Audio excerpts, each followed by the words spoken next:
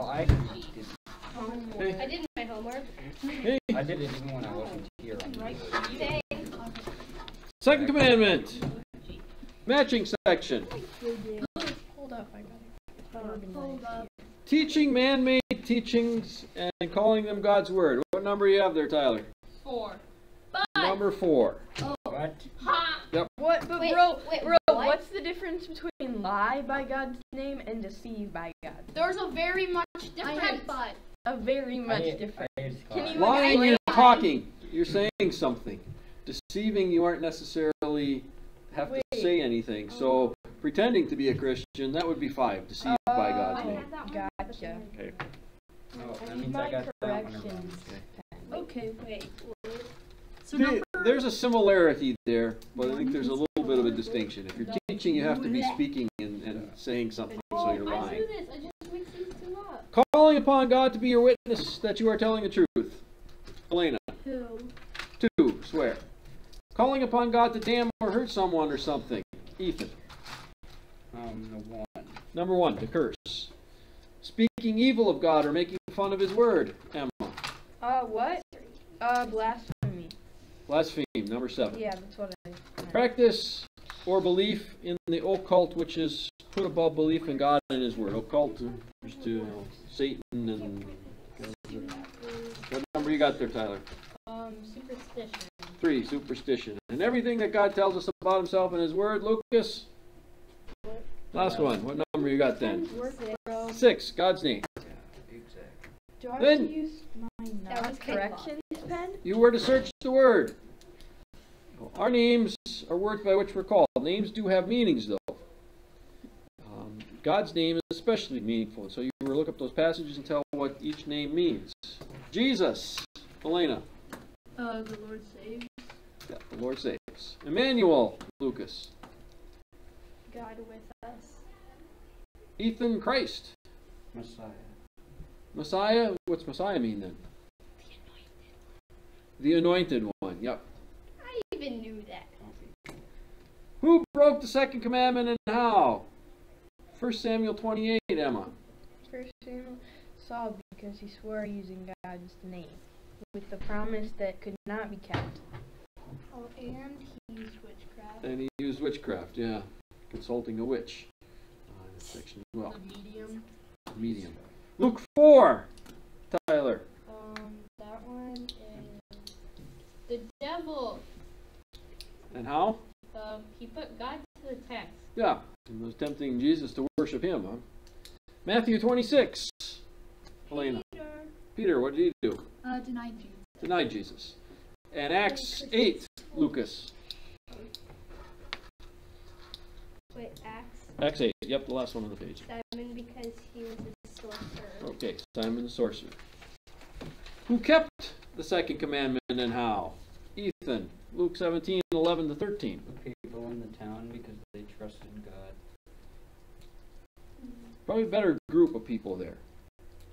Who are the people that were the focus of those verses? The leprosy guys. The leprosy guys, and what did they do? They, They- called for help. They called to who for help? Jesus. God. So in their day of trouble, Trouble. they called to Jesus, huh? Well, they prayed to Jesus for help. So the ten lepers there. Luke 17, 15, and 16, who specifically was the one there who kept the second commandment. Hmm? Emma. Um, the man that came back to Jesus. Okay, the one leper, the Samaritan leper who was healed, who came back to thank Jesus. Luke 19. Tyler. Um, Hannah. Or wait, no. Nope. That's Um, the next one. The next one. The Jews. What did they do? They praised him. They praised Jesus. Praise God. This was on Palm Sunday, huh? And then 1 Samuel chapter 1 there, Elena. Uh, Hannah. Hannah, what did she do? That She prayed. She prayed to God. Uh, examples of people who kept that commandment.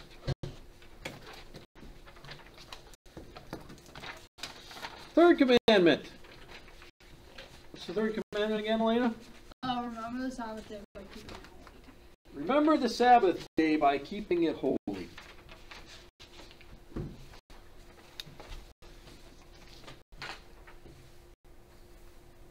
We'll look and see what the Sabbath is and how it is that we keep it holy. Um, how does God want us to regard His Word? He gives to us His Word in the Bible, and the, this third commandment really has to deal then with God's Word. What was God's special will for His Old Testament people in regard to the Sabbath? Let's take a look at some passages here. Exodus chapter 35.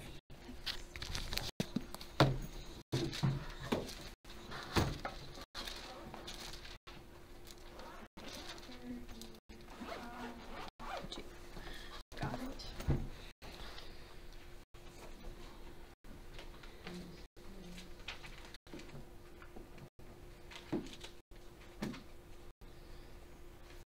Got it, Emma? Mhm. Go ahead and read, please. For six days work is to be done, but on the seventh, but the seventh shall be your holy day, a Sabbath, a Sabbath of rest to the Lord. Whoever does any work on it must be put to death. So, seventh day, the Sabbath day, what is that? What was that to be for the Old Testament Israel? What does he say there? What were they to do? Or what weren't they to do? Work. They weren't to work. It was to be a day of what? A day of rest. Um, I didn't mean that they were just to lay around doing nothing. It was, it was to be a day that they gave attention to God's Word. Um, How serious was God about this? Uh, Very it says you As- put them like as serious as like death. Yeah. I mean, when he says, okay, if you break the Sabbath and you go out and work, you deserve to die. So God's very serious about that, isn't he? Leviticus 23, verse 3. I'm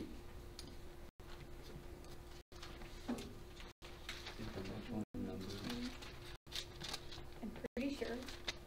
I'm like 99% sure. Little Sabbath. There's a whole section on it. Ethan, got it? Yeah. There are six days when you may work, but the seventh day is a day of Sabbath rest, a day of sacred assembly. You are not to do any work wherever you live. It is a Sabbath day to the Lord. So again, spells out that seventh day of the week, which would be what day? Saturday. Saturday was to be a day of rest in which they were not to not to work. So Is that how Saturday with on the weekend with no work kind of Wait, happened? where's the answer? We just write they were not to work. The Saturday, the seventh day. Hmm? Huh? What? For the first question. Because this is. It's the- Saturday, the seventh day. what is the Old Testament Sabbath? The Old Testament Sabbath was a day of rest. But God says, remember the Sabbath day by keeping it holy, and it's to be a day of rest. Uh, you ever do work on Saturday? Uh, sometimes. Yeah, that's when you That's do all chore the work. day. That's chore day. So are you breaking the third commandment every time you do your chores No, on Saturday? No. No. Uh, The Old Testament Sabbath is no longer in effect for us. Why isn't it? 'Cause Why don't we have to do that? Let's take a look at some passages here. Colossians chapter 2. Wait, were we Wow. supposed to write um a day of what the Old Testament Yeah, said? just write a day of rest. Just right, it was a day of rest or Okay. something to that Great. effect. Okay. Colossians, that's in the New Testament? I think maybe we have it all together here at the end, if I remember. What book is it before? Um, Galatians, Ephesians, Philippians, Colossians. And then the first one. And this- It's like towards the beginning. It's before Thessalonians. Ephesians or Colossians? Is that after Galatians?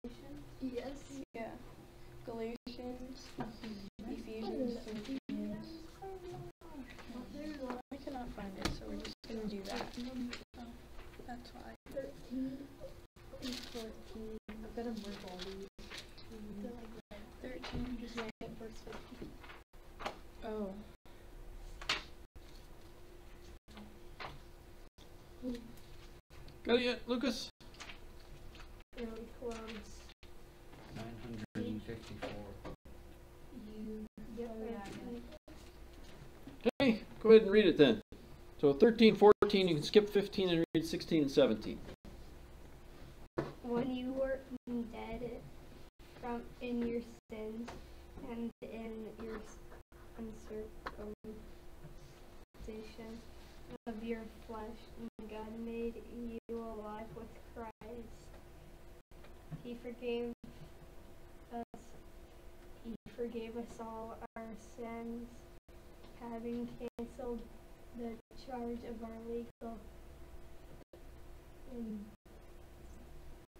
in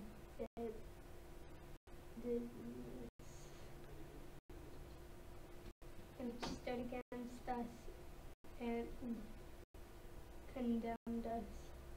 He has taken it away, nailing it to the cross. Let's get back to 16. Therefore, yeah. do not let anyone judge you by what you eat or drink, or with regard to a religious festival. These are a shadow of these are a shadow of the things that were to come. The reality, however, is found in Christ. So he says, when we were dead in sin, God made us alive in Christ. And what does it say that he did with that, that written law, that written code, the, the regulations and the rules that were written down? Verse 14, what does he say happened to those? Cancelled. Canceled them. By, ultimately, by nailing them to the cross with Jesus. And so then in verse 16 he says, Don't let anybody judge you by not you obey the Sabbath or whether you follow certain rules and regulations. Because what does he say those things were? What was their purpose then if, if they're no longer in place? Verse 16. Or verse 17. What does he say they were? A shadow of things to come. If you're standing around the corner from somebody and you see their shadow, what do you know? They're there. They're there. And what are you looking at? They're Their shadow. What happens if that person walks out around the corner? Do you keep looking down at their shadow? No. you look back up at that. Now you're looking at them, aren't you? You don't really care about their shadow anymore, do you? That shadow isn't, isn't really important at that point because now they're there.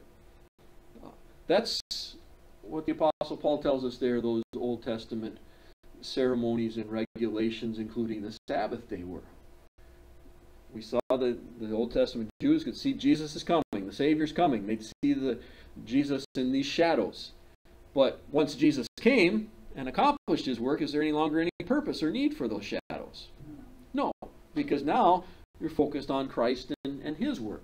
And so those Old Testament ceremonies, including the Sabbath, are no longer something that we have to follow. Matthew 11, 28 29. What's the rest that we have then?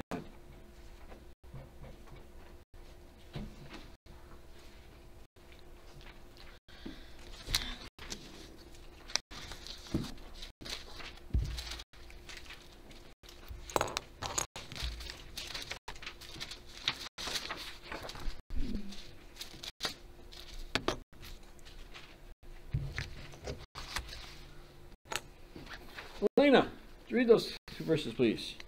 Come to me, all you who are weary and burdened, and I will give you rest. Take my yoke upon you and learn from me, for I am gentle and humble in heart, and will find rest for your souls. What does Jesus invite us to do? Learn. And receive what from him? What's the rest that we receive from Jesus? What's that? No sin. No sin. Ultimately, heaven, huh? It's rest from our sins. It's rest in that forgiveness that He gives, which ultimately results in the rest of eternal life in heaven. Um, so, the Old Testament Sabbath as a day of rest was to remind the people and to be a shadow of the fact that the Savior is going to come and He's going to give you a true and lasting rest by taking away all of your sins and giving you eternal life in heaven. Uh, Jesus speaks there about being yoked with him. A yoke. What's a yoke that he speaks of there? Yeah, that's think of the the bar that goes across. Maybe you have a couple oxen or a couple draft horses that are going to pull a wagon or a plow, and that kind of bar that goes across the back of their necks to, to hook them together um, goes around and together with the harness. Uh, that's the yoke. And so Jesus says his yoke is easy and his burden is light. Now, would you think a yoke like that would be something easy? No. You don't even think of that being a hard, huh? You got to work at pulling that, whatever it is. Why is Jesus' yoke easy then? Who's doing all the work when it comes to our salvation? Jesus. Jesus is. And so, maybe you're, those in class last year remember we used kind of the picture that if you had a big ox yoked together with a little house cat, uh, kind of a silly picture, but now if they're going to pull a wagon loaded down with all sorts of uh, heavy stuff, who's going to be doing all the work? The ox. The ox. Cat maybe going to curl up and take a nap there, huh? Um, because he's not going to have to do any work. Well, when it comes to our salvation, who's done all the work in paying for sin? Jesus. And so if we're yoked together with him in that way, it's easy, isn't it? The burden is, is light because Jesus has, has borne our sins. And so that's what the Sabbath was to picture. And since Jesus has come and fulfilled the Sabbath, why we no longer have to set aside Saturday as a, as a day of, of rest. So the Old Testament Sabbath was a day of rest and was to picture the rest Jesus gives us by the forgiveness of sins. So I think that's actually the first two questions, isn't it? Yeah. The old, so, Rest. Um, so what do we write for uh, the to second So the picture second one, you say it was, Jesus gives it pictures the rest Jesus gives us by the forgiveness of sins. You wanna write it for me? I'm not that crippled. well, I'm going It's to- just sloppy.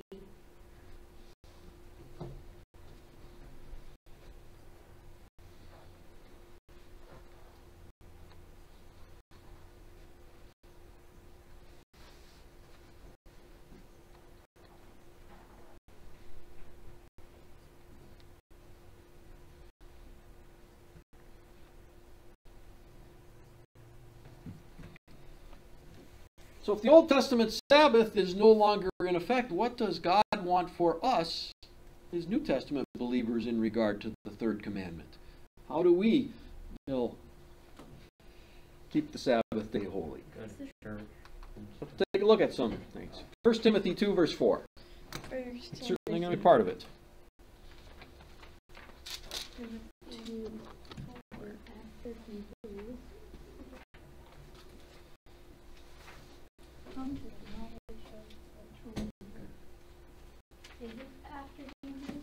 Uh, Before Hebrews. right, actually, no, it's not. You're kind of good. I mean, I'm gonna flip it. I'm there. Titus is Hebrews.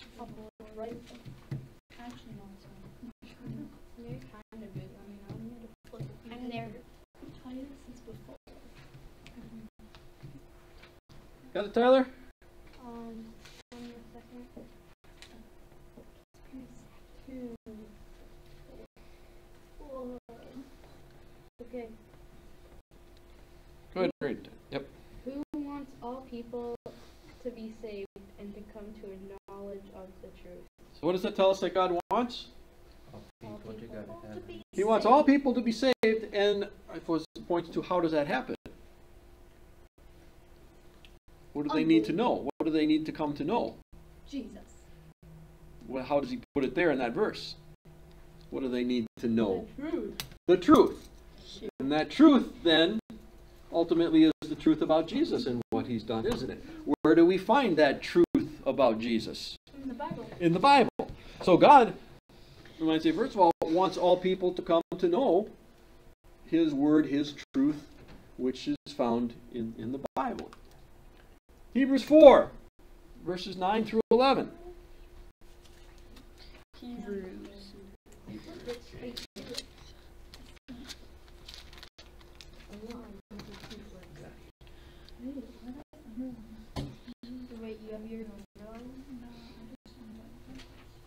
Emma? Um. There remains then a Sabbath rest for the people of God. For anyone who enters God's rest also rests from his own work, just as God did from his. Let us therefore make every effort to enter that rest so that no one will fall by following their example of disobedience. Yeah, and what does it say that God wants there? What does He want us to do? What is He? What is He prepared for us? A rest, a Sabbath rest in heaven, huh? And He wants everyone to enter there. Uh, to do that, what has to happen? We have to remain in the faith, huh? Uh, the picture, kind of picturing that running the the race of faith, huh? Um, the finish line is ultimately when our life comes to an end here on earth, and the Lord takes us to heaven. Uh, we run with Christ, um, and of what he's he's picturing there, huh? Uh, make every effort to enter that rest. Well, what efforts do we make to enter that rest? We just talked earlier about the fact Jesus has done it all. So what's the effort that we now as Christians can do? Um, Try to follow his word. Try to follow His word, and I suppose what do we have to do if we're going to follow His word to begin with? Know it. we have to know it. We have to study it. So a lot of that effort is a matter of studying and hearing and learning His Word. John 5, verse 24. is that the seed one where the bird takes it? Can't you tell by the picture?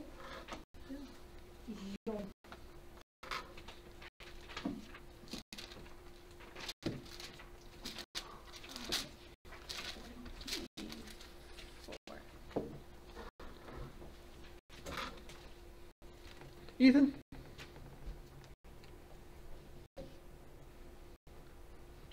Very truly I tell you, whoever hears my word and believes him who sent me has entered eternal life and will not be judged, but has crossed over from death to life. Again, how do we have that, that eternal life, that eternal rest? Through Jesus. Through Jesus and through His through His Word. And yeah, you have the picture there. We go with Jesus, uh, parable of the sower and the seed. Uh, the seed really is, is God's Word and falls on, on different types of soil. In some cases, it falls on the path. The devil takes it away, and people you know, don't get any benefit, don't hear it, uh, doesn't sink in. Um, I suppose uh, others fall among the thorns. The thorns choke it out. Others fall on the rocky soil. It springs up, but then when it gets hot, there's no root system. There's enough moisture. It withers and dies. And then there's the good soil. God wants us to be that good soil, doesn't He? He wants that seed to take root, to bear fruit, uh, to produce that, that faith that lasts to eternal life. Although I suppose at times, all of us are like some of those other soils, aren't we? Um, think of that. What was, uh, for instance, what was the sermon text for this last Sunday? Um, the, um, oh, I know it. It was It about, might be not all that difficult to think of uh, Paul's words in Philippians that Um, for me to live is Christ, to die is gain. yeah, that. That that section. That, But- were sitting out. But think about how sometimes, maybe even in church or Sunday school or even here in confirmation, your mind kind of wanders. Yeah. That can never and you maybe hear the word, huh? And you hear the passage, but it kind of almost goes in one ear and out the other, huh? That's kind of like the seed on the path. Other times, uh, we think of the, the seed that's up on the, the rocky ground. Um, maybe we have troubles and problems, huh? And what do we what do we think about? Well, I'm not instead of being focused on God and His promises, I'm focused on all those problems and I don't trust those promises because I'm worried about all sorts of things. Or the thorns, maybe what happens maybe when friends want you to go do something that's wrong. Um, instead of listening to God's word and trusting Him again, I let the temptations and the, the pleasures and the and you know, my, my friends maybe kind of choke out that word. So at times, uh, we're guilty too. Um, but the Lord has worked that faith in our hearts so that uh, we're that good soil that produces those fruits. Colossians 3, verse 16.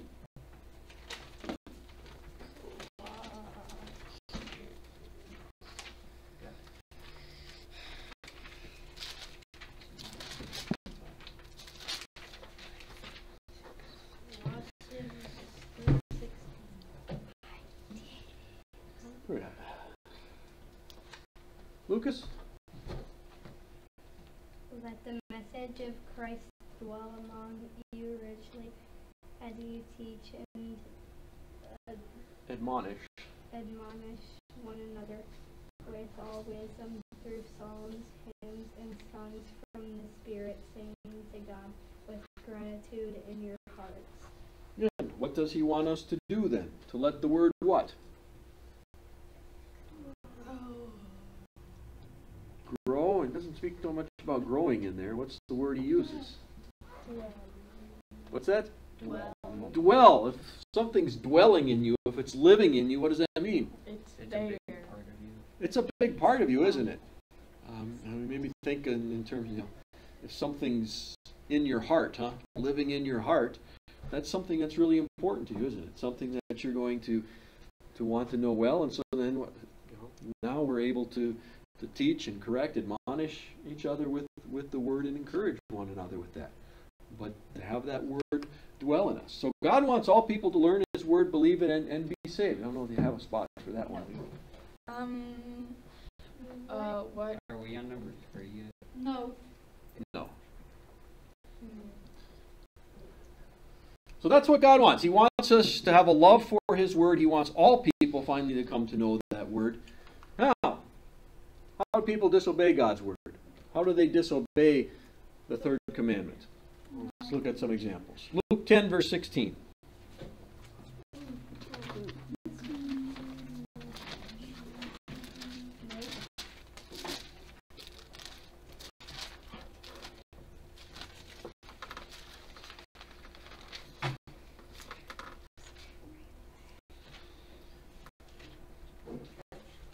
Lena?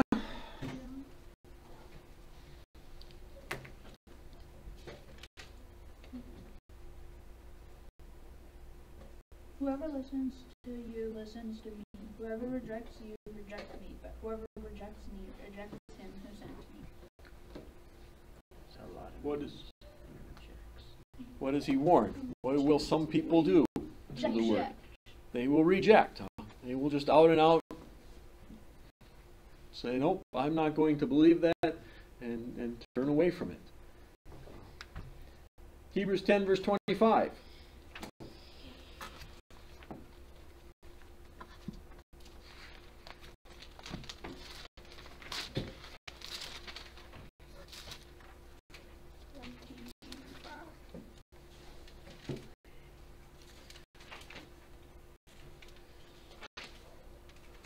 Tyler?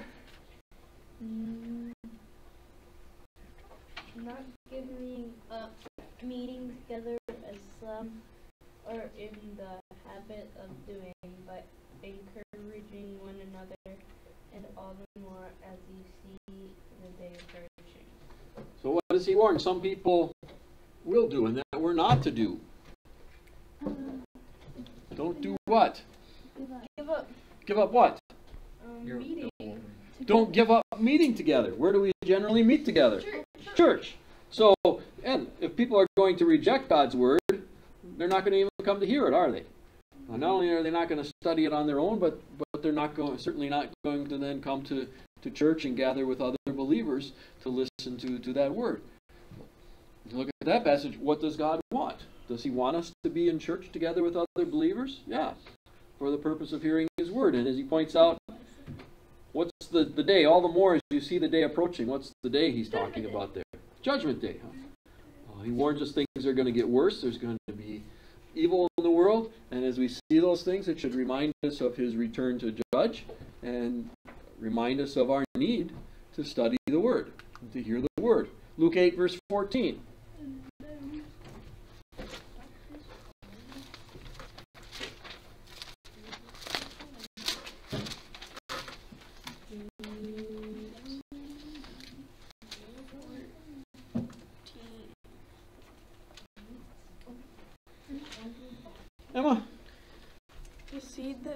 Among the thorns stands for whose stand for those who hear, but as they go on their way as they go on their way, they are choked by words by life's worries, riches and pleasures, and they do not mature. sure. sure. Yeah, we kind of talked about that with Jesus' parable of the different soils. Here's the one. What happens to that word to these people? What are they? What are they more concerned about? The world. The world, the things of this life, huh? and so they become focused, whether it be the good things, the, the pleasures and treasures, or maybe the problems and, and the worries.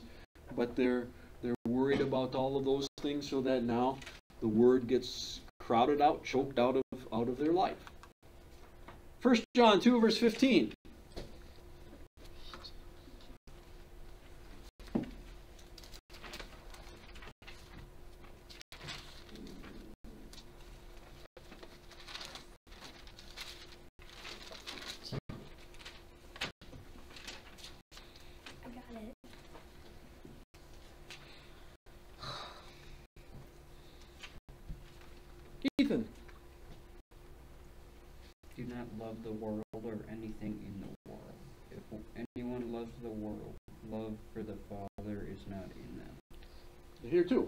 He say? What does he warn us against? Uh, it would be a breaking of the third commandment.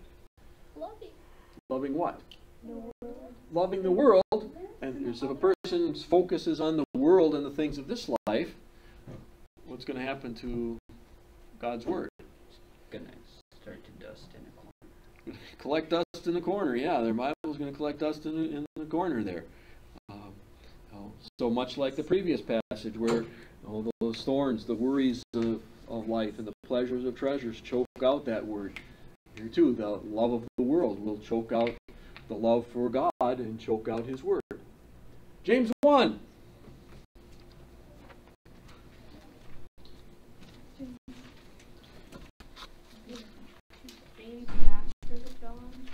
James is after Hebrews. Oh, right.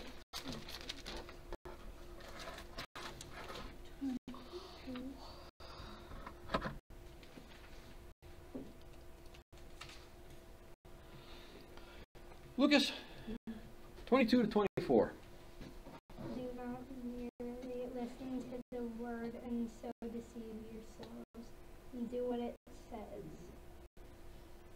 Anyone who listens to the word but n- does not do what it says, it is like someone who looks at his face in a mirror and after looking at himself goes away and immediately forgets what he looks like. So, what does he tell us there? We're to do with the word. Remember it. remember it, follow it, huh? obey it, listen to it, not just not just hear it, huh? Yeah, if your parents come to you maybe with some instructions about things you're supposed to do, and you stand there and you listen to them really well, huh? Give them your full attention. And then you turn around and go do something else, completely different. Are they are they satisfied? Well, they listened, huh? Are they going to be happy then? No. Not at all, huh? Um, the fact that you listened and maybe can repeat everything they said right back to them doesn't mean much if you aren't going to follow it, does it? Uh, if we sit and listen to God's word and hear it preached and proclaimed, but then as soon as, let's say, we walk out the doors of the church, we kind of dismiss it and go do whatever we want, have we really given God any honor? Mm-hmm. Not really, have we? I mean, here he uses kind of what would be a silly picture, huh? Person goes and he looks in the mirror, you know, fixes his hair up, and then he turns around and he doesn't have any clue what he looks like, huh? Well, Kind of a, a silly thing. You don't immediately forget what you what you look like and what you just just looked at.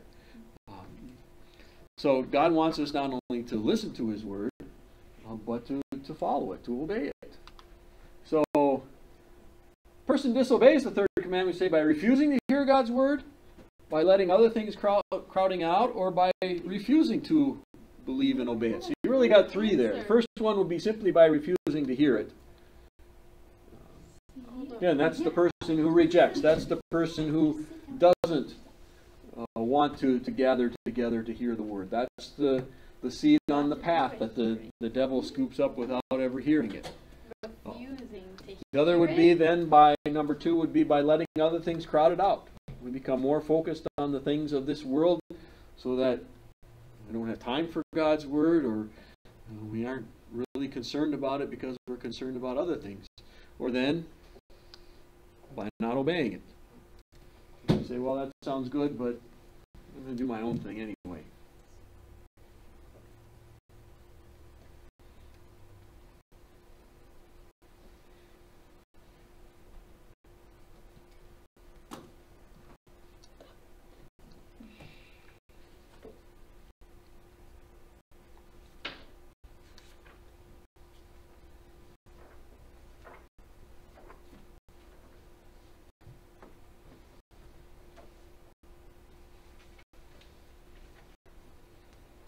Got him.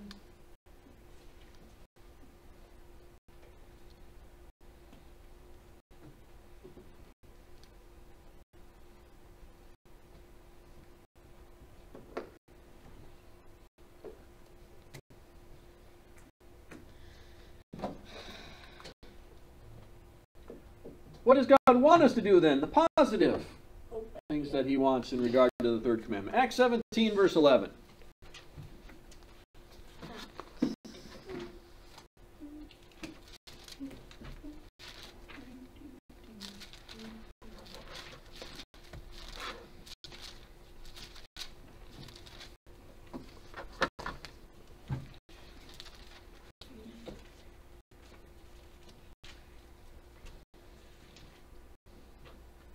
Elena, go over to you again.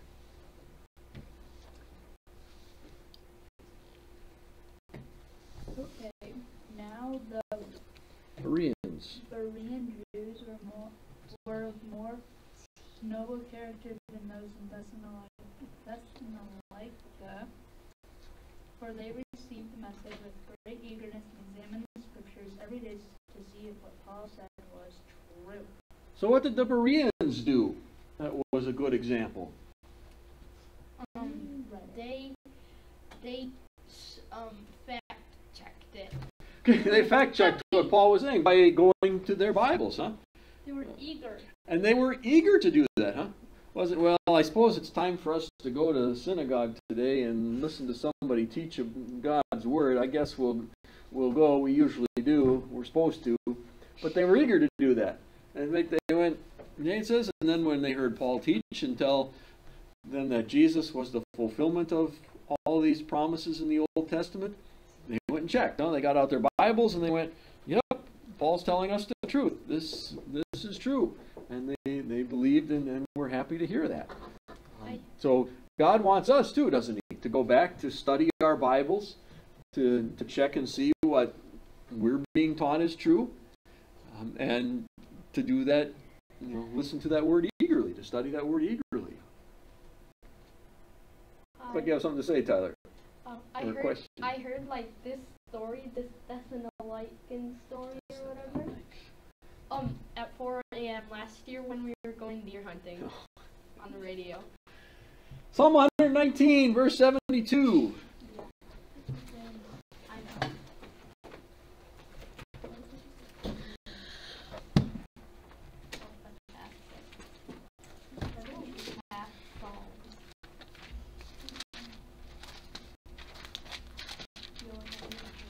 This is a long.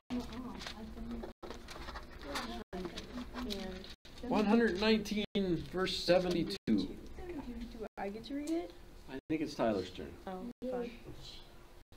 The law from your mouth is more precious to me than thousands of pieces of silver and gold. How does the psalm writer feel about God's word?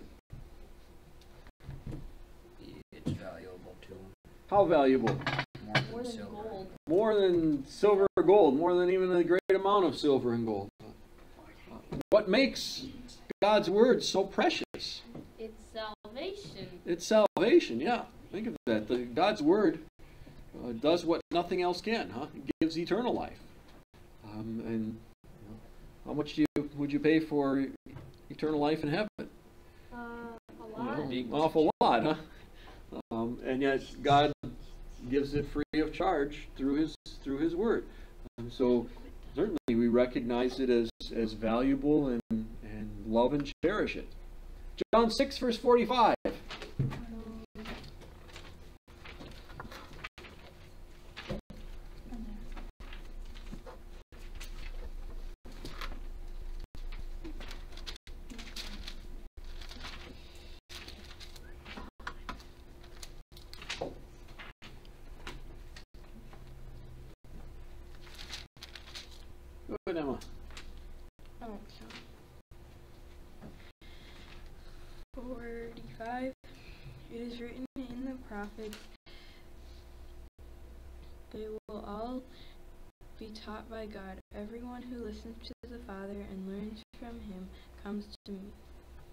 Does Jesus tell us that He really wants us to do?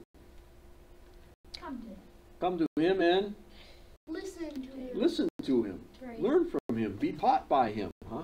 Be taught by God the Father through his, through His Word. So we listen to to His teaching. What do you think of? What's the greatest good work that a Christian can do? Listen.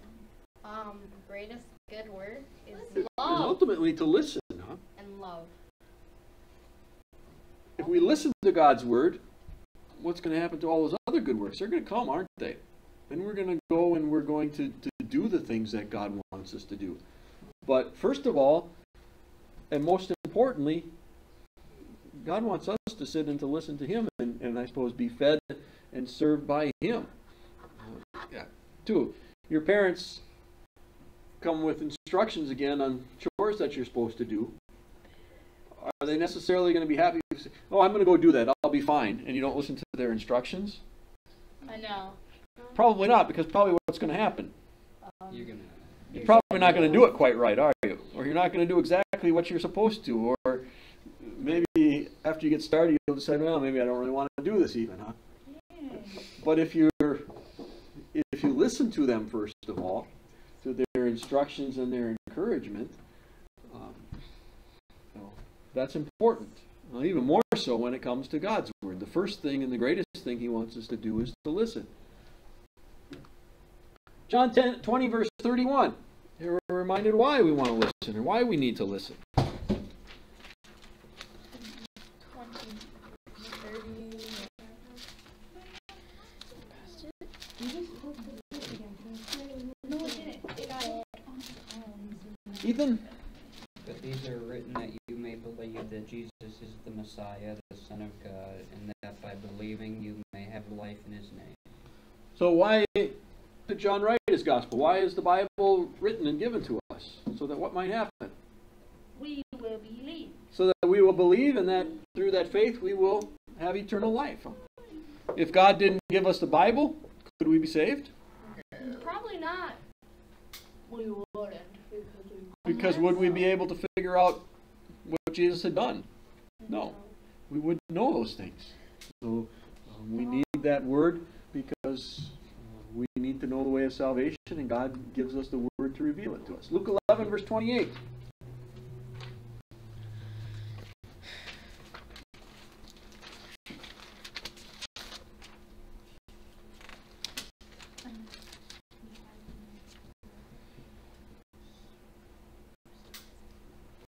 Go ahead, Lucas.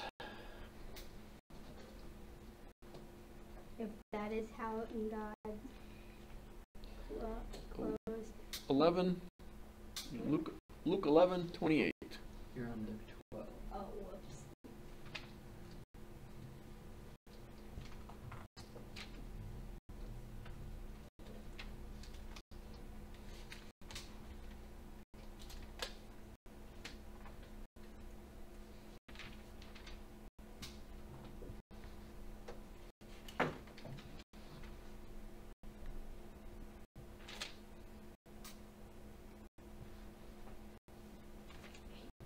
You can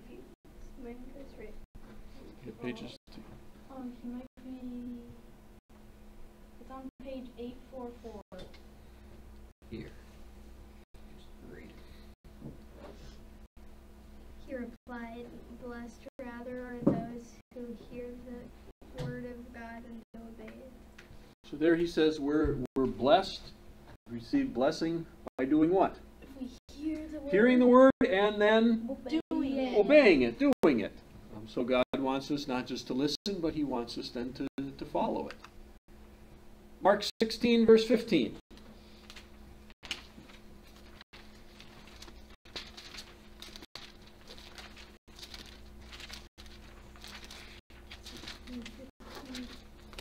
Why is this one squiggly line?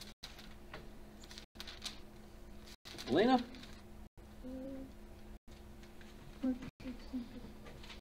He said, "Go into all the world and preach the gospel to all creation." But what also does He want us to do then with His word? Share it. To share it, to preach it, to proclaim it to others. Share with those who don't know. So, God wants us to hear, learn, believe, obey, and share His word. So One, two, three, four, five. Yeah.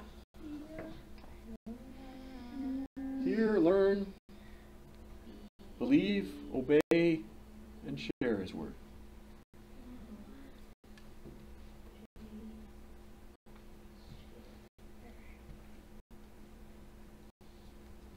why don't you have your glasses on?